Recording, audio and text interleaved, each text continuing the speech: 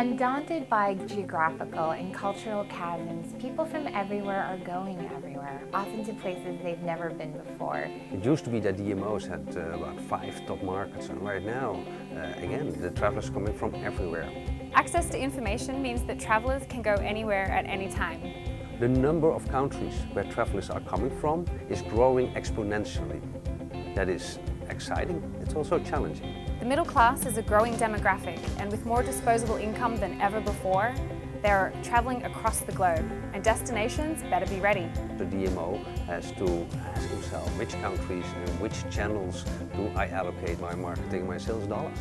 It's a not so strange new world and the industry must engage with more knowledgeable, culturally aware customers on